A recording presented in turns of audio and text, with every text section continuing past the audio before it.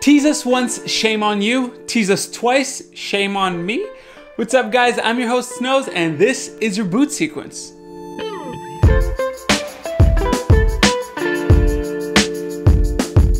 The Twitter account for Intel Graphics has released its first tweet on Wednesday. The account was created in July of this year and only just now gives us a video to tease us about the GPU set to be released in 2020. The video is nothing too impressive, just quotes from various places and a roundup of what they've accomplished graphics wise, like them being the first to implement DX12 in their graphics or the first to offer Netflix in 4K, which by the way, is probably just a DRM limitation. Little rant here, isn't it the worst? I mean, come on, even now with my Ryzen 1700, the best my PC can do is Netflix at 1080p on Microsoft Edge and 1080p on their app, and Chrome is still locked at 720p. I mean, come on, I don't want to use my smart TV's Netflix app because it's slow as hell, and I'm using my TV as a second monitor too. I mean, come on, just give us 4K on Edge, at least. Okay, going back to Intel's tweet, it tells us that Intel will set their graphics free, which means that the possibility of them still just expanding their evolving graphics tech onto a much bigger die is a possibility. Also, since Intel is new to the game and has experience with HBM on their EMIB, we might see them employ HBM tech instead of going for whatever GDDR memory is going to be available in 2020. We're still at least a year and a half from specific information, but I wanted to leave my speculations here so we could come back to them in a few years. What are your predictions? If you put them down here now, I might come back to take a look at them in 2020.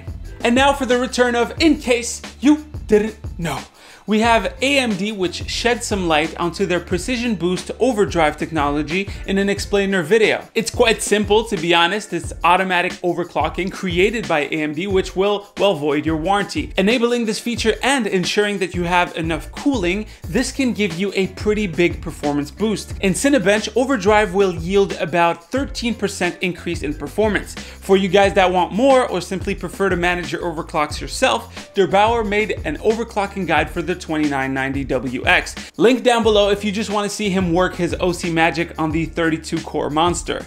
Then we have Twitter, which finally hammered the last nail into their API coffin. That nail has been there for around six years, waiting and warning third-party apps to move some of their features like push notifications and auto-refreshing timelines. In a Twitter blog post, Rob Johnson explains the timeline. In 2011, they told developers to not mimic the core Twitter experience. In 2012, they started capping the number of users that third-party apps could have and even granted exceptions for some developers. But they all knew this was coming. Tweetbot and other third-party apps have already removed a lot of features ahead of this change and I'm pretty curious to see how they will survive.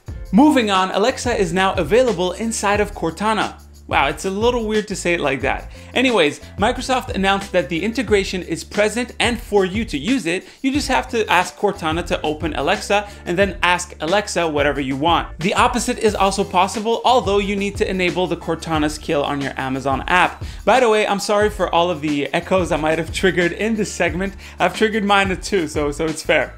Then in gaming, be ready to raise hell wherever you go because Diablo 3 Eternal Collection is coming to the Switch. You can pre-order it now as it is coming later this year and price-wise it's going to be $59.99. Also, a leaked article points to some Zelda themed extras like cosmetic armor that lets you play as Ganondorf. Actually, after the leak, it seems like Nintendo also confirmed the Ganondorf thing. One thing I'm surprised about though is the lack of amiibos. It seems like every game gets an amiibo these days.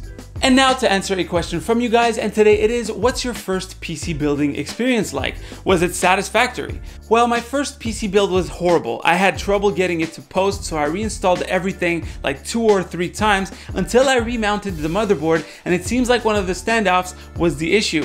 Besides that, the PC was great and still worked up until now because it's the one that got flooded a few weeks back. So I'm not sure if it still works. Maybe I should wash it down with some water and let you guys know if it still works. Anyways, that's pretty much it for the news guys. Hopefully you've enjoyed. Don't forget to leave a like, share that video if you can, it'd be greatly appreciated. And leave a comment down below with some question. I'm running a little bit low. By the way, I'm in the comment section 24 7, although this week I'll be answering every single comment during the weekend. So just keep that in mind. You can click right here to see the latest video and right here to subscribe to the channel. It would be once again greatly appreciated. So do both of these things and I'll see you on the next one. Don't forget to stay frosty. Woo! Ah, that one was nice.